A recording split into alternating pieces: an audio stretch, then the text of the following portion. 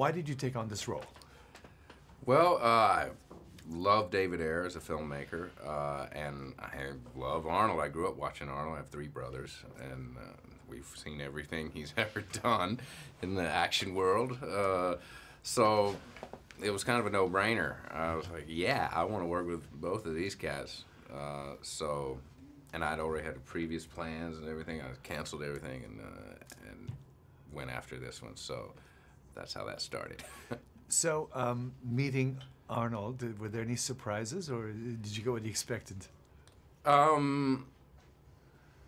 Well, I was surprised at how available he was because you know he's an iconic actor and uh, former governor. I thought he might have a lot more um, entourage around handling business all the time, and that wasn't the case. He was very present and very available and uh, open to joke around and everything, and not always on a cell phone. And so I was like, wow, that's a that's refreshing, you know. So he's still my hero.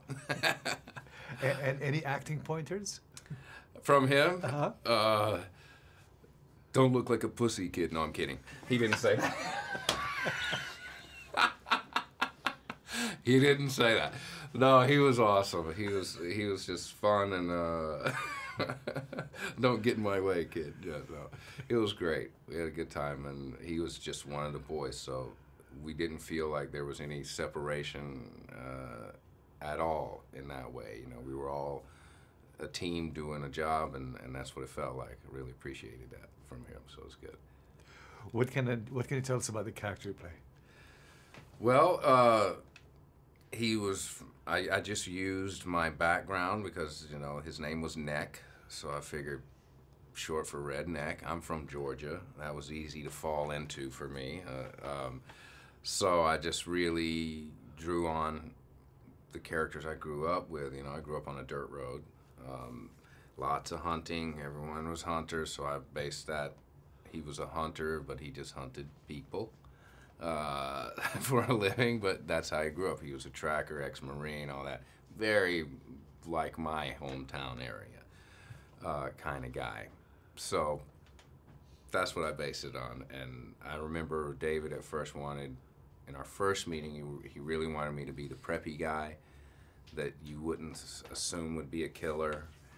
And uh, somehow I got him frustrated. And he said, "Oh, fine, shave your head." And I shaved it. And then the next time I saw him, he's like, "What did you do?" I was like, "You told me I could shave it." So I changed it completely because I didn't want to be the preppy guy. I wanted to be something else. so we had a funny moment, but he accepted me. Now these these uh, characters, these D- DA agent, uh, they're Mhm. not completely squeaky clean, are they? No, I. What's the saying? If you stare into the abyss, it will stare back at you. I'm sure the they're immersed in this drug world and uh, the craziness around it. So I can't imagine how it must be to really be immersed in that all the time because David made that available. Uh, here we were able to do ride arounds, uh, ride-alongs with the, with police officers. Joe, I think, actually was a uh, witnessed a real bust and all that. So you get to feel that energy, and it's intense.